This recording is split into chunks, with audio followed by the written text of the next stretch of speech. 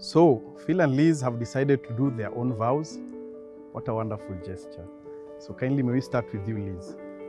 I promise to love you always and in all ways. I promise to love you every day of the week that ends with letter Y.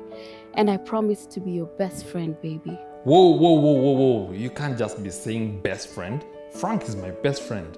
We've been best friends since high school. Hey, hold up. I thought I was his best friend. We've been through a lot together. Frank was there for me when I broke my wrist. Phil and I learned how to drive together. I'm the one who named his car and dog. Phil named my car and dog Pip Pip and Woof Woof. I was the one who used to cover for him when his mom was looking for him. Phil once told my mom that my escape from the world was the library and she believed him. I prepped him for his most important interviews. Phil prepared me for the interviews I did and I didn't get any job. He was there for me when I had my first heartbreak. Aha, I jokingly told his first girlfriend she could do better and she believed me.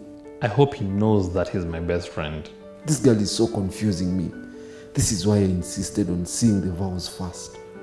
There's no one who's going to be loyal to you like me.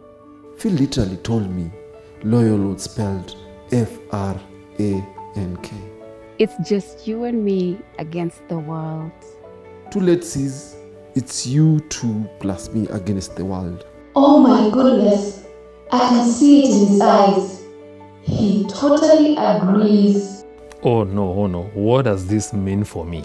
It's the end of an era. No!